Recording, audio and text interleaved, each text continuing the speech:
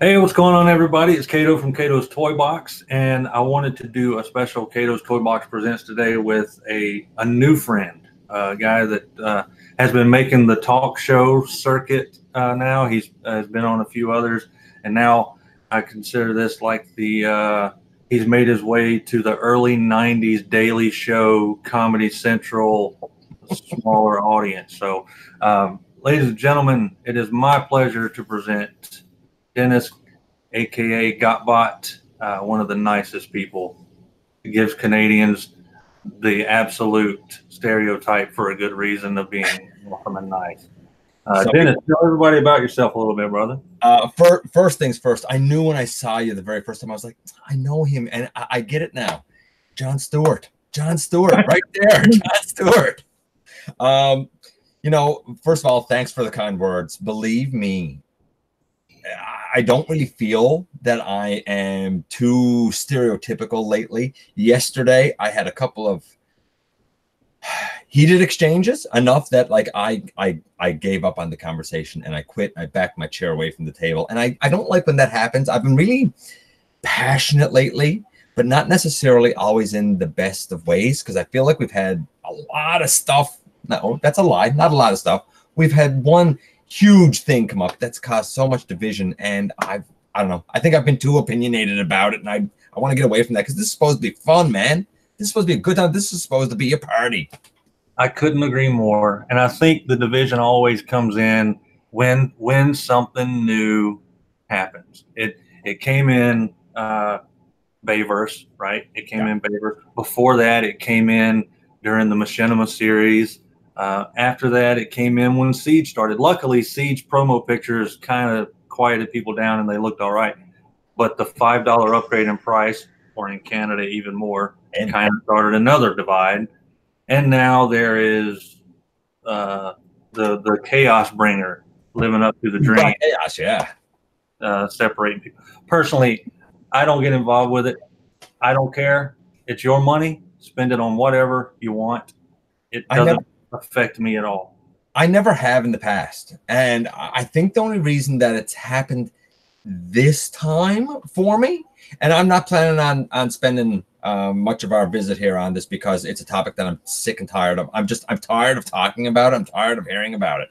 But I feel like I got kind of sucked in this time, and like I, it's one of those things where it's like I know better. I shouldn't have said anything. I know better, but I think I got sucked in this time because I look at it from a grander scheme, and for me personally, from a moral standpoint, I I can't get behind the message it sends. I know everybody got to make their own choices. I get it, but I I think that the teacher in me, and I think that that's what I'm blaming it on. The teach the loudmouth teacher in me is kind of gone a past where I should have gone a past in making comments about this, which is why yesterday I decided to finally just back my chair away from the table because I think that's what I have to do before I say or do something that I'm going to regret.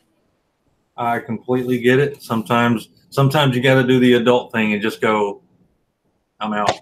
Absolutely. Absolutely. And uh, you have an opinion. You you know what it is, and you know what other people's are, and you just go, ah, washing my hands. Let's talk about fun stuff. So the funniest, the funniest part is the funniest part with it is is that when I actually done a discussion video on him, I actually presented it as objectively and fairly as I could from both sides. But I think a lot of people have assumed that I've seen things one way or the other way. When the truth is, like I was neither Gotbot nor Dennis in that video. I was the moderator. I was the in-between dude. And the in-between dude had his own thoughts. And i've been i found myself getting trapped into having to present that you know and that's the that's the funny part because a lot of people are confusing kind of which role i am and i see why because i was playing multiple roles there. Yeah and, if you don't know what i'm talking about and you haven't seen that discussion go see that no yeah yeah we're, we're you know dennis is talking and Gotbot is talking yeah i i I, I think before but you know what? Before we get on that uh, dead horse let's talk about something fun. Sounds good. That we can all agree on, and that is your latest video is just one that I've watched that I can appreciate. One because I've tried uh, stop motion before, um, semi successfully. It, it, went well. It just was a lot of time and I think I have a lot of time. I'm just too lazy to keep trying. Uh, but one that I can appreciate because you spent a good 30 minutes going through some great techniques.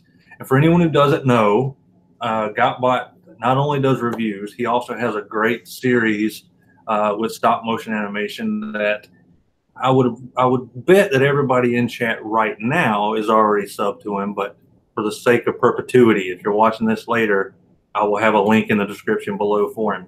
But what made you want to do the tutorial? Because you know some folks want to keep all their secrets to themselves, other than you being a teacher. Yep. Well, you know what? Honestly, I'm going to go back um, a little bit. I've always been um, a storyteller. I mean, from the time I was a little child, I was the guy, you know, you know, when you were growing up in school and you had to write a story in class and you had that one or two students in class. And while everybody would write a story that was, you know, one or two pages, you had that one kid that was writing something that was like 10 or 11 pages. I was that one kid that was writing something 10 or 11 pages because I had a story to tell. And then I ended up writing a couple of books.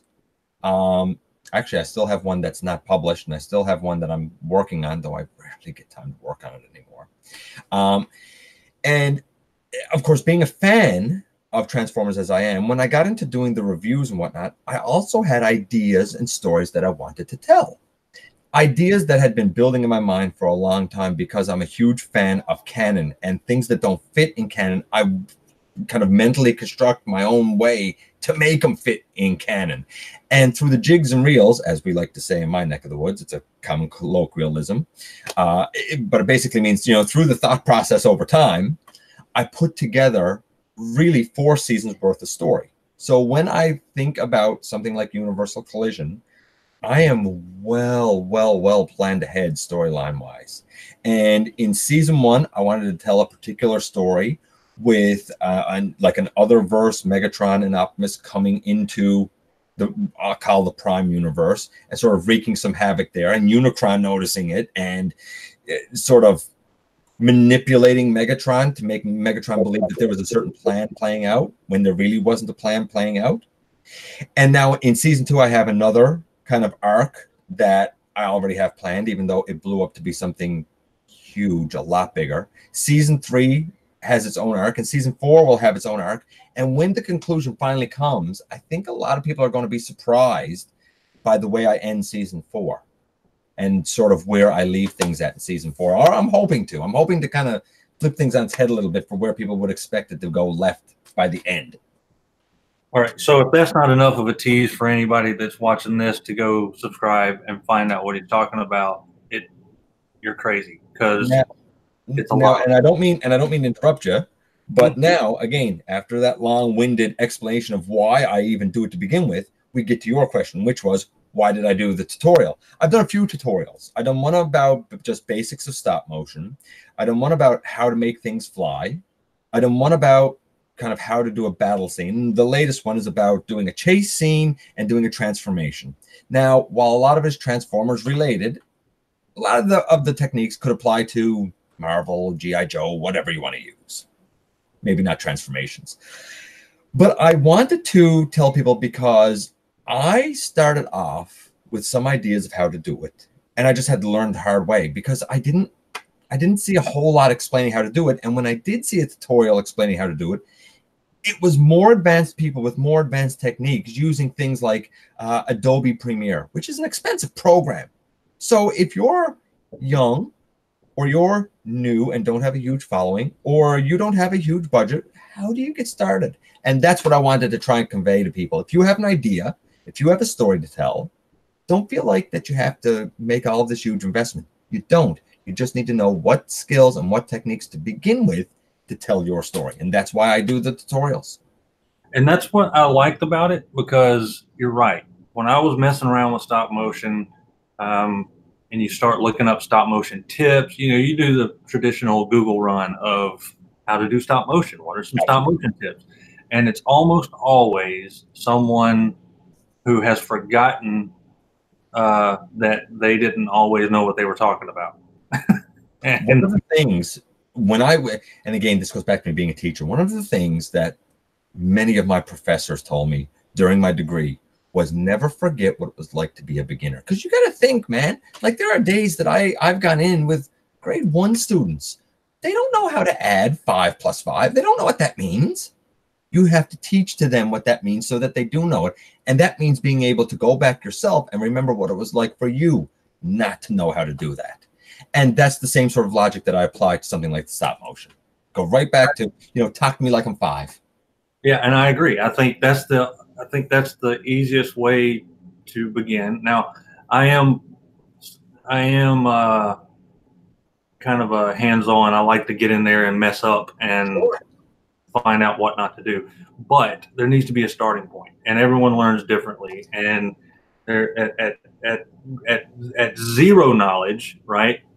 You know, you, you don't know things like uh, or frame rate, right? They don't really discuss frame rate, which you did, right?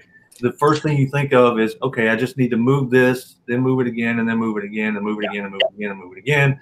If I want to move it slower, if I want it to look slower, I make smaller movements. If I want to move, make it move faster, I make bigger movements. But they don't really talk about adjusting your frame rate within that, or using transitions to your advantage.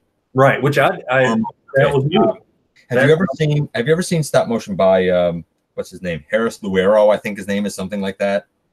I can't remember what his name is, but if you see his Harris Luero or something, I can't remember what his name is. A lot of people know him. He's well known. He has like um, you know a few million followers or something, right?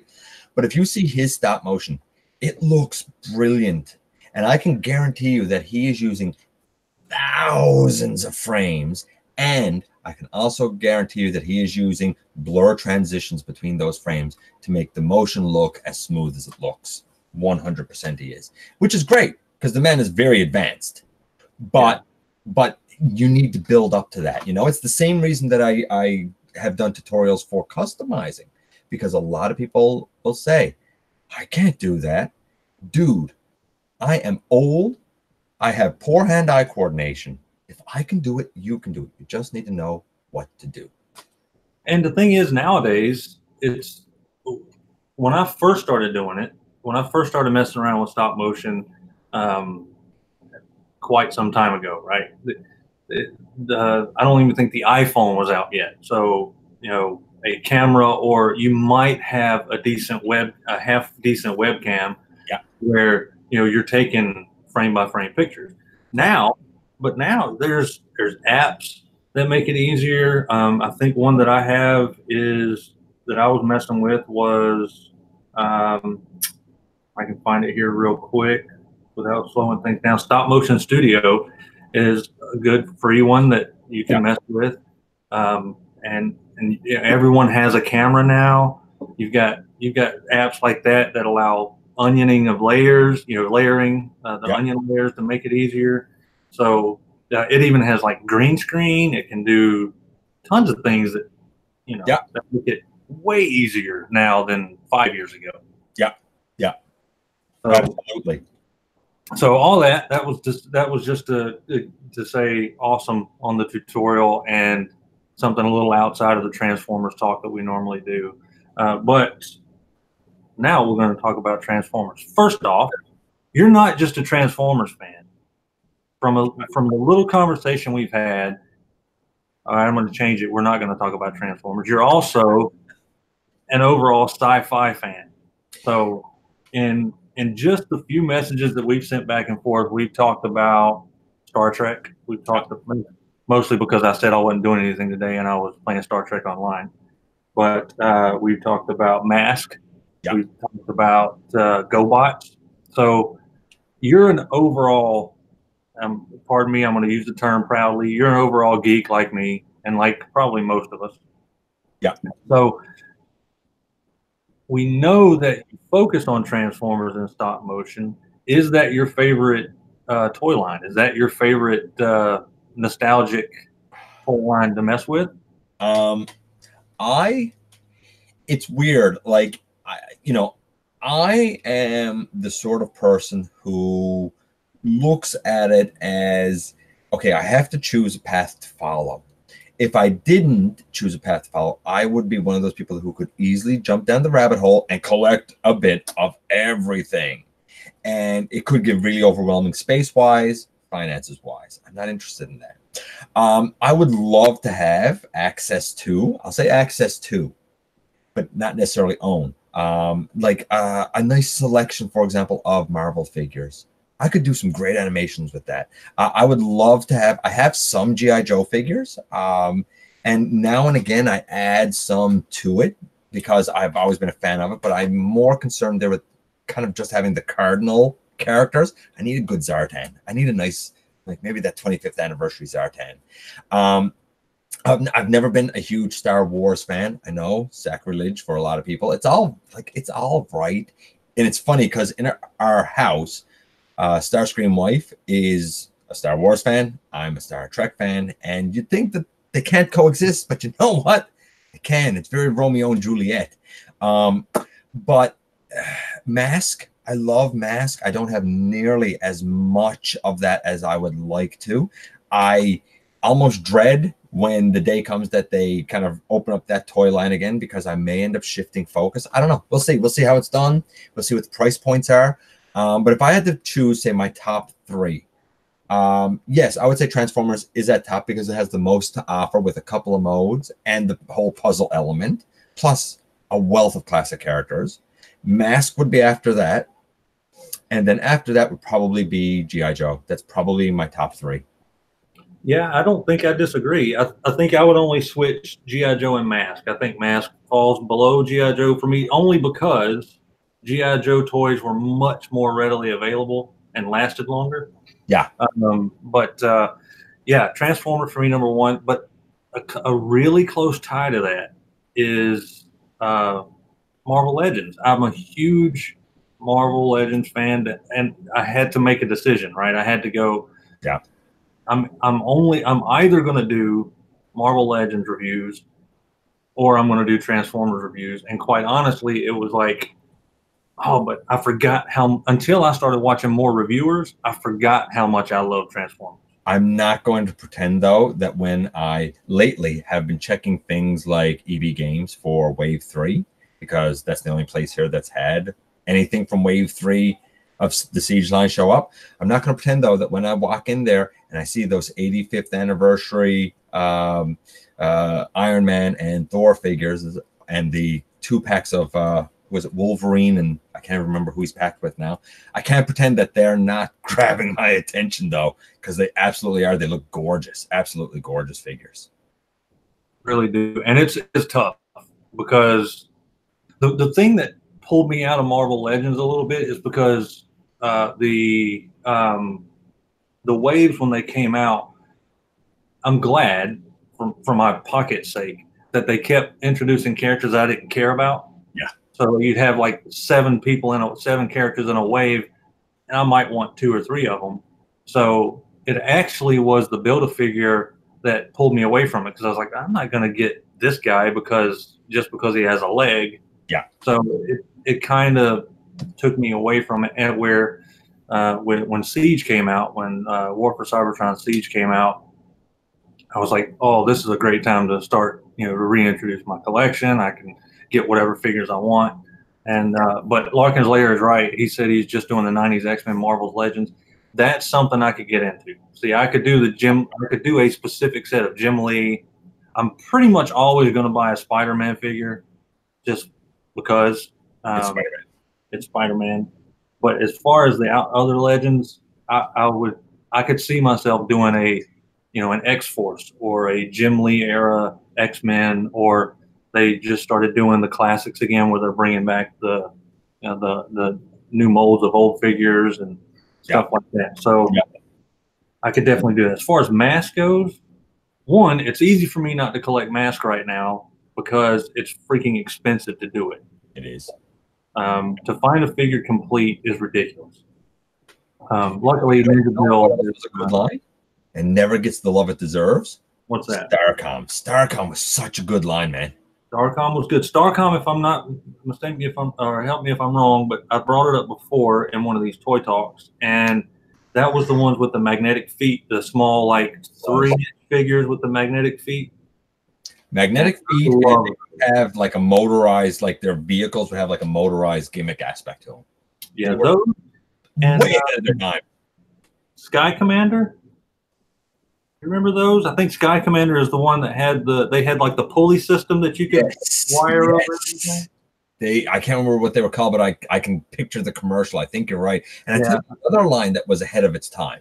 Yeah, Absolutely. that, it would stand the test of time today, I think. Cops. Cops was a toy line so ahead of its time. yeah, I remember cops.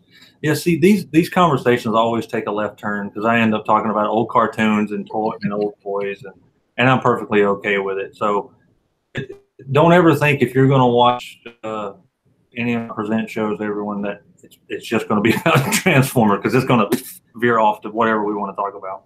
But uh, so okay, GI Joe, and we've talked about it before on on multiple different shows. But uh, would you be willing to back a six inch like a Marvel Legends scale GI Joe reboot? Ooh. Oh. I don't know. See, I was always three and three quarter inch scale for Joe, but that's an intriguing idea. Here's the thing I think I might um, be down for that if, if they really stuck to like the core characters, uh, certainly for the first while like i mean am i down to get necessarily a six inch version of um crystal ball no as I name some people are probably like crystal ball who's that guy uh you know am i down to get a, a six inch version of dj maybe not but you know flint beachhead duke snake eyes yeah probably you know right. uh, do i necessarily want firefly uh, but like Destro, Cobra Commander, Baroness, Major Blood, sure, why not? So I think Yep. it depends. Like I think it could fly depending on the price. I think though that that market is about to become a little more interesting because I have this feeling, and I could be wrong, but I have this feeling that what Mattel is planning to do now with their Masters of the Universe uh, line, where they're having kind of like the old molds but with new articulation at a pretty reasonable price point. I think that's really going to put figures like similar to it, like the Marvel Legends line, on notice of what can be done for this price point. And I think a lot of people will say, look, I know what like Mattel can offer for this, you know, few dollars less. I think that you're going to see either a price reduction or you're going to see, I think, something like Marvel Legends really sort of have to step up their game. We'll see. We'll see. I- I'm kind of excited to see what Mattel brings to the table with this. Maybe nothing. Maybe it's hype over nothing, but I'm I'm I, I like that there's hype about it. Yeah, I think I would be down if they did, like you were saying, if they did a sort of an anniversary edition, say Yeah. 30, 30, well, it's got to be around 35 years, just like Transformers, uh, of the, of our G.I. Joe, not, not the original 12 inch, but like the, of our 80s G.I. Joe, we're talking around 35 years, like Transformers. If they did Flint, Duke, Scarlett, you know, uh, Lady Jaye, um, Storm Shadow, Yeah. you know, all all those in like a 35th anniversary packaging in the same way they do the legend, the Marvel 85, and and you know we're probably not going to get vehicles big. We're not going to get all this stuff, but couldn't you see Hasbro doing that six inch anniversary, and then of course HasLab would come up with a uh, I- uh, uh, crowdfunding for uh, the jet or the, the aircraft carrier. I think it's all possible. Do I think it's practical? See, here's the thing. While I'm, I'd be down for it. If they're going to come out and be like, yeah, but these six inch figures are going to be, you know, in my neck of the woods, you know, thirty nine ninety nine. No, I'm not paying s- forty bucks plus tax Canadian for a six inch snake eyes. I'm not doing it. No, I'm not. gonna You know what I mean? So, like, I think that here's the thing. I think that the pricing for these things in a U.S. market probably still has a little room to grow yet. Though I hear people grumbling about things like twenty dollars for a deluxe transformer. Dude, we've been paying twenty dollars for a deluxe transformer for three or four years, and we grumbled about it three or four years ago. Now our grumble is thirty dollars, and a lot of people are saying, "Nope, they've hit the ceiling here. Not going at it, man. Not going at it." And that's why things like Siege aren't flying off the like. People are like, selling right out. I can go right now and find you a bunch of shockwaves and uh, you know ultra magnuses and i can get you a Starscream and touch the box and wipe my hand on the top of the box and take the dust off of it. Because it's not moving for the price that they want up here. Yeah. i think they've hit their ceiling here. I think they're closing in on hitting their ceiling there. Not just with transformers but i think that just the toy industry in general is getting to a point where they're kind of hitting a ceiling for what the general consumer market is willing to pay for what they're offering as a luxury item. Maybe I'm wrong, but I feel like more and more that's the trend we're seeing as time well, goes. I don't I don't disagree. I, I just went to Walmart yesterday and I picked up two things from the shelf, stared at them for about 30 seconds, and put them back on the shelf. And it was um, the reissue of Ravage, uh, Frenzy, Bust All, you know, the the the cassette packs. It was both yep. of the cassette packs, and they were they were nineteen dollars each, or eighteen and some eighty something change.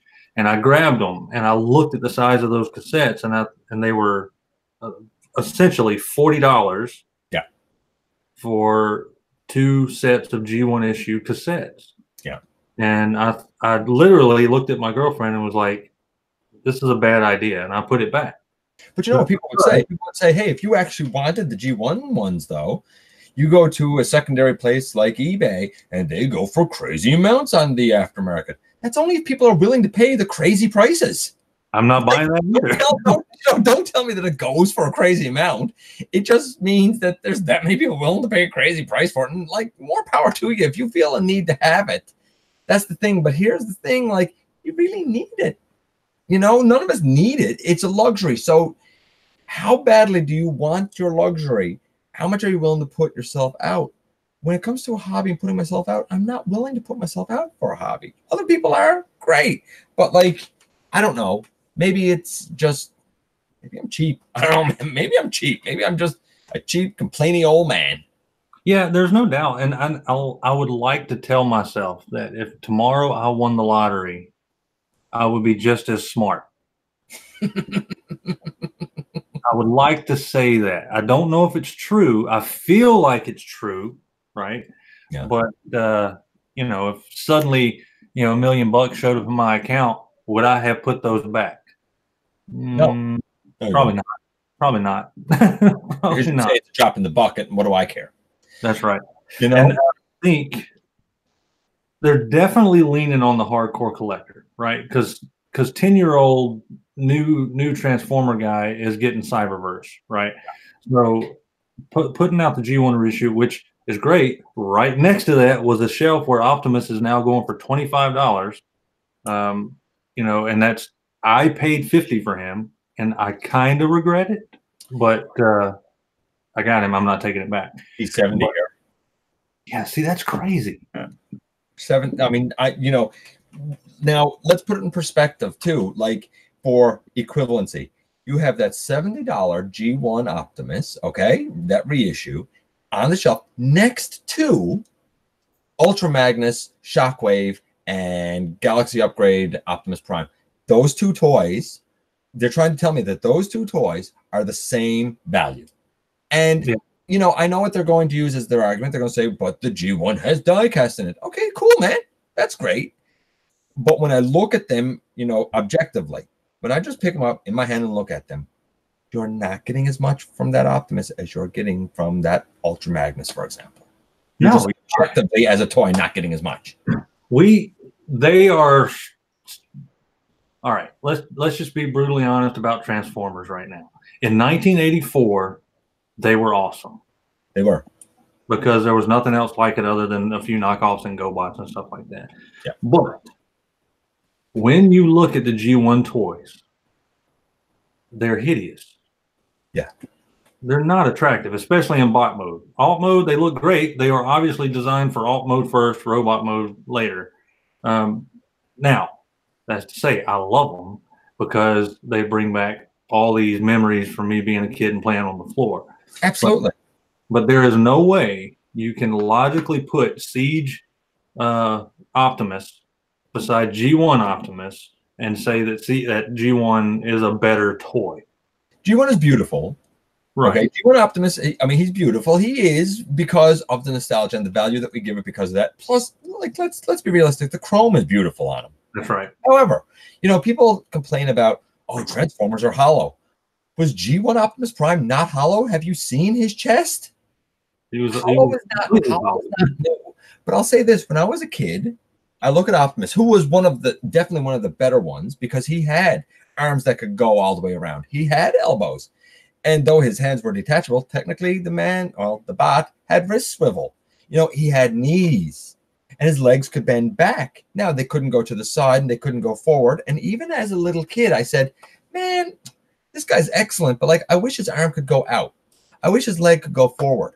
And I think the reason that I am a like a generations chug siege collector more than like something like masterpiece or high end stuff is because I can go to the store, I could see on the shelf these generations figures, and to me, I can say, little boy me going to the store would have loved to have seen this as an option to buy then. And it, it, it, it stirs up those feelings for me. That's why I enjoy going on the hunt and finding something at brick and mortar more than I do just ordering it online. I'm so happy when I see something in store and it's like, yes, I wanted this guy or these guys. And I'm so happy to trot up to the right register with them. And it's it's real easy to say that we that you didn't care as a kid that it didn't have articulation, but most of us Transformers guys were also GI Joe collectors And- to some extent to you know even the Star Wars the Kenner figures and things like that.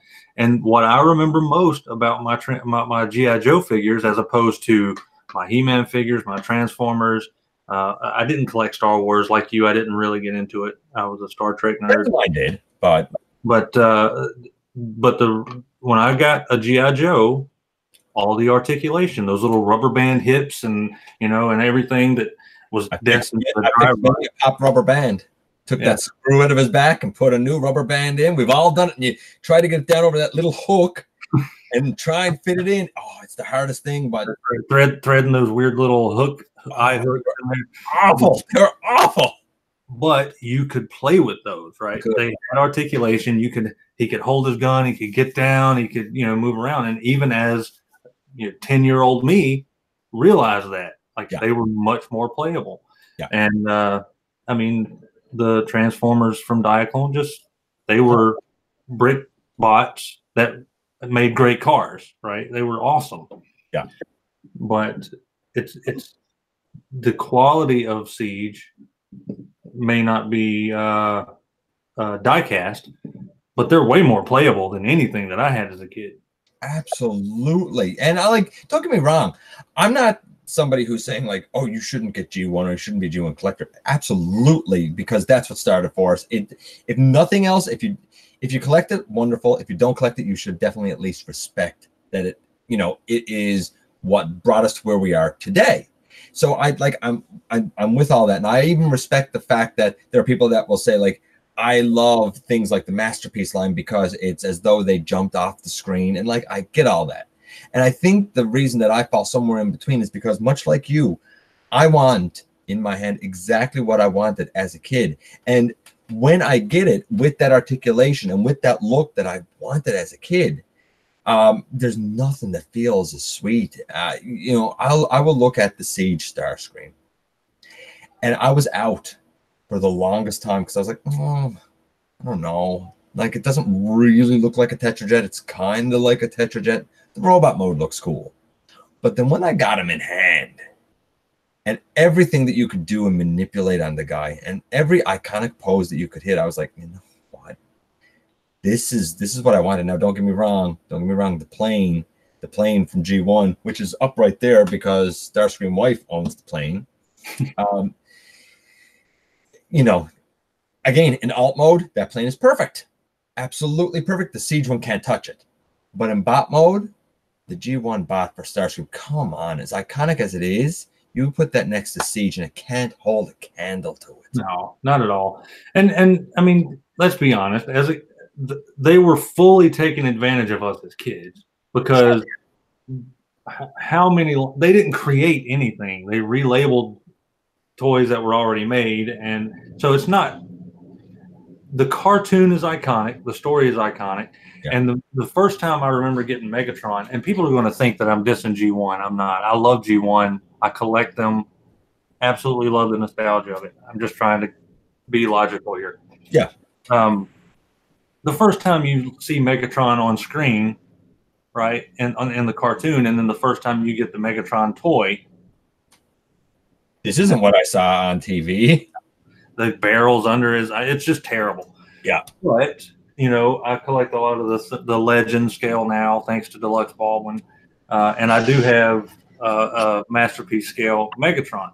And suddenly, you look at it and you're like, now this is what I saw in my head when I went to the store. And you know what? It wasn't that long of a jump when you stop and really think about it. It wasn't that long of a jump before developers started thinking the same thing and realizing the same thing because just by the time we got to Beast Wars, we started to get characters that were far more articulated. Now, granted, there was a kind of a disconnect between, uh, you know, the uh, animation models uh, matching up with the toy models because the toy models went by like early animation samples or something, which is why they look a bit different and got those mutant helmets and stuff. But the nugget and the idea was there that you know what there should be a greater match to the articulation and the look of the toy to what we're getting on screen. It doesn't always translate perfectly, but they do put the attempt in. And if you're looking at something like Beast Wars, I mean, that was only about 10 years after the whole thing started. You know, they even had to to learn, and, and, and writers and creators and developers have admitted this, that they didn't really know what they had created. Like when they killed off Optimus Prime, they didn't realize how beloved of a character he had become. To them, it was just, we're getting rid of the old to- toy line for the new toy line. And they looked at it from that perspective. They didn't realize that they had created a beloved character and a beloved lore. And once that I think it clicked with them that wow, people are invested and care about this and care about the representations and the toys and the figures that we're giving them, I think that made them respect their design process a lot more, right from as early as Beast Wars. And that's why Beast Wars was great and RID 2001 was great. And there was a lot of great toys throughout the Unicron trilogy, even though the fiction's not for me. And the animated toys were fantastic and so on and so forth. Yeah, and uh, every time I watch the the animated movie, the the '86 movie, I'm just reminded that what they were doing was killing off licensed vehicles. Yeah. I mean, that's they were like, oh, we're not paying Lamborghini, we're not paying, you know, well, I think they kept Jazz, but we're not paying all these licenses to to make. So suddenly they've got Hot Rod, yeah. you know, generic uh, fast car, RC, Cybertronian modes. Yeah. So you know, all of a sudden they've got all their own modes that they can. They don't have to slap a Ford logo and pay you know pay Ford for it. But because uh, you watch that first scene, it's like, oh, there goes there goes a licensed car. Oh, there goes yeah. a licensed car. Uh, but uh, man, I could talk to you for hours. What? Uh, let's see. We got uh, so far. We've barely done Transformers. We've gotten GI Joe out of the way. Okay. what, what is a toy line? What is a toy line that you would like to see come back? A toy line that I would like to see come back? Yeah, something something from uh, not necessarily from the 80s. It could be anything from what we talked about to uh, to something that doesn't that's never had a quality toy line that you'd like to see done well. Ooh, um, there's you're asking two different questions there because some of them have had toy lines, but they weren't done well. Like RoboCop had a toy line, but it had no knees and it had no elbows, and the arms couldn't move out to the side, and it was done poorly. Um, you know, something more articulated there, it would be great. Although that being said, we do have what NECA did, and they've done a fantastic job with that. Um, a couple of years ago, I think. Um, it's hard. I don't know if there's anything that hasn't really been done. Like, you know, I'm very much on the Star Trek mindset because we were there earlier, but there were some decent um, there was a decent line that came out in the 90s for them that was quite good. I don't know if it could really be improved upon, to be honest with you. They're still great figures to this day, and a lot of people don't even know that they exist. But I mean, they've done them for for uh, next gen and Voyager and DS9 and uh, even um, uh, like some of the classics ones. Um, something that wasn't done. I don't know. Was there anything that wasn't done? Everything was a toy commercial, really. I want to say Visionaries. I'd love to see Visionaries updated. They were they were great. Those I- were I- fantastic. Larkin mentioned that too, and I I believe I've heard a rumor that they are. Oh, I- really? I, I was talking to a guy that runs a toy shop, and rumor, rumor, rumor that Hmm. they're making some that they're getting relicensed. Well, there was, if I'm not wrong, there was talk of them joining joining like the Hasbro movie verse at some point. So I I think that now's a good time for that little gimmick to pop back up because it's Yeah. kind of coming up in other toys again. Um, I do think that seeing some of the more like I'd love to see Silverhawk Silverhawks get redone, get the like NECA treatment or something like that, uh, or the the even I would even I wouldn't even mind seeing the Funko Pop versions of those, like the the they're redoing with the Primal Age and stuff like that. You know what was going to say, except Hmm. They had a toy line a couple of years ago that was actually quite good. It didn't seem to last a long time, and the reboot was quite good and lasted for a year or so. I, don't know if it got marketed as much as it should have. Um, Thunderbirds, Thunderbirds. I, Oh, yeah, I always wanted Thunderbirds, and a couple of years ago, I'm not gonna lie, man, I was all about seeing what they were coming out with, and I saw like kind of the wave one time and I was like, "Oh, I might, I might delve into that at some point." But by the time I ever got around to thinking about delving into it, it was gone again. Yeah, I, I do kind of remember that being a, a thing that was coming back. Uh, uh, the The rebooted show was was pretty good too. I watched a nice bit of it. I only had one or two seasons, but it was it was done well. yeah, I thought I, I I would like to see that come back. I remember watching that as a kid too. Obviously, the the uh, the uh, oh, he said, wait, there's a new series. What's the new series, Ninja The Bill? new the new series though, the new series I think is the one that that got. I think it's already been canceled. oh, I could be wrong. I mean, you can you know you can search it up. I believe there was a couple of seasons of it. I think it's also been canceled. And the new series, of course, didn't have marionettes. I think it was like CG animation, um, Yeah. which I mean is typical, but it was still well done. I I had fun watching it.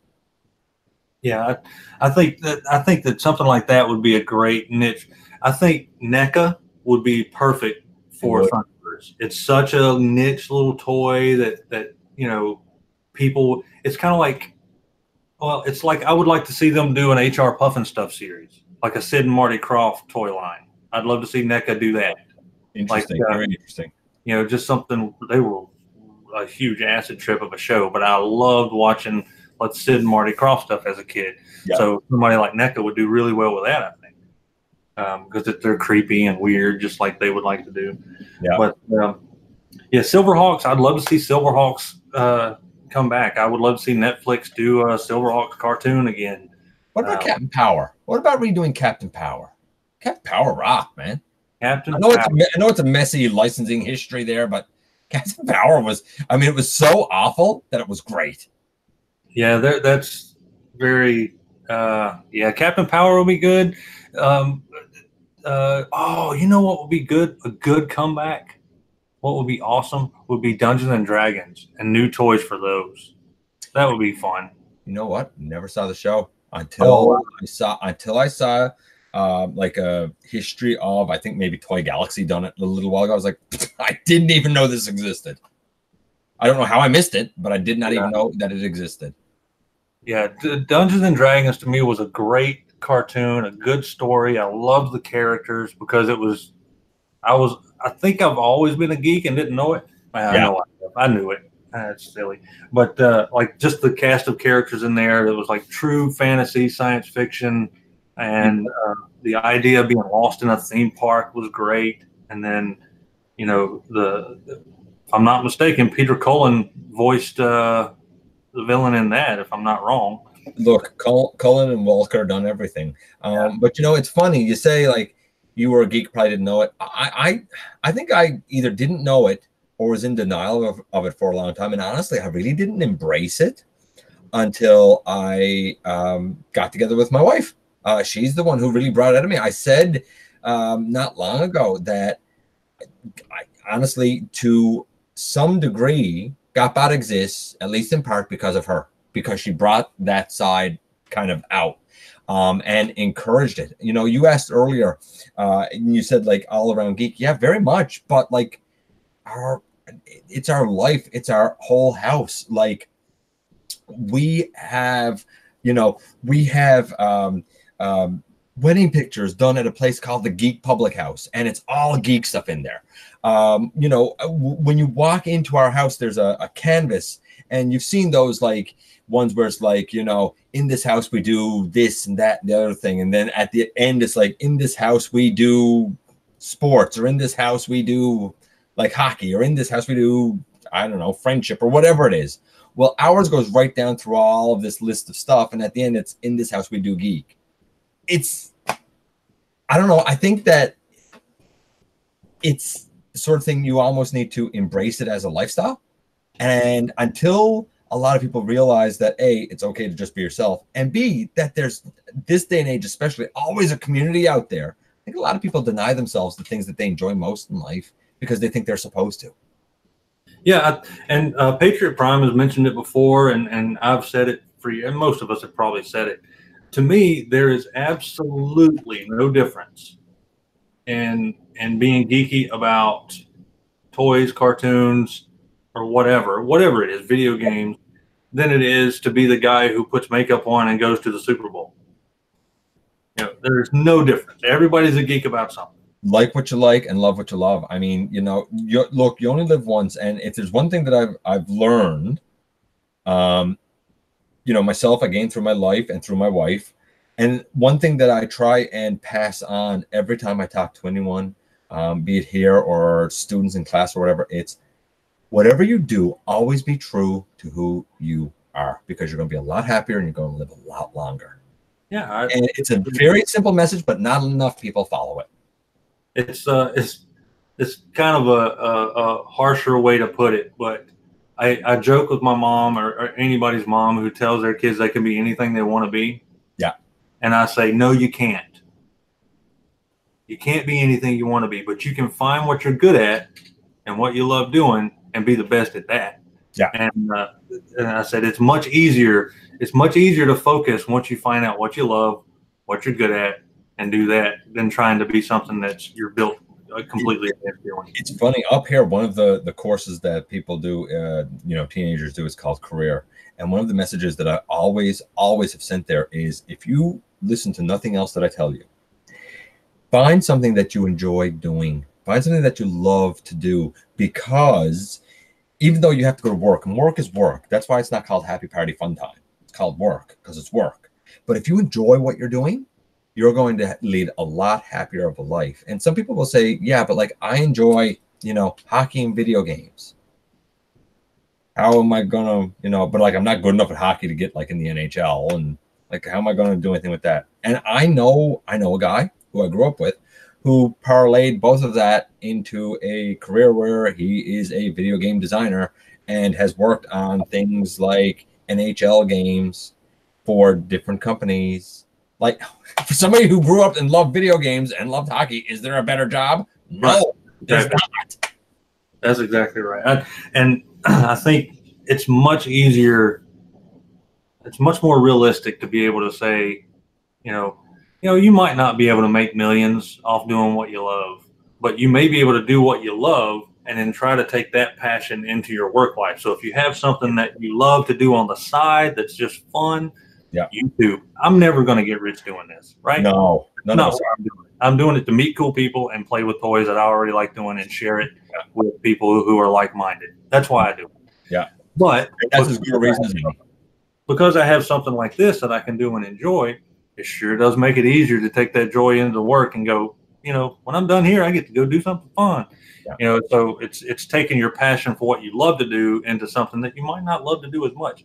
Luckily, I do love what I do, but um, didn't always. You know, worked back retail decades and it sucked, but got me here.